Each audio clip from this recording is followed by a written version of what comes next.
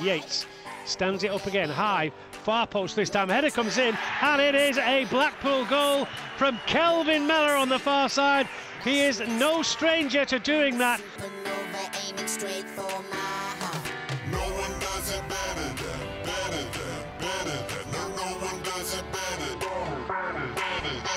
Flicked up in the air again. Two from Barnsley. Clem. Here's Mellor on the volley, shoots and scores for Blackpool.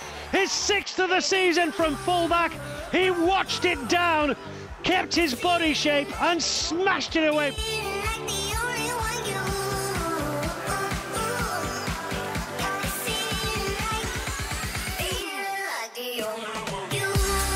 Billy Skirk is there. Bright Samuel curls, scores! Blackpool win it to the death! Bright Samuel has curled His second goal for the Seasiders.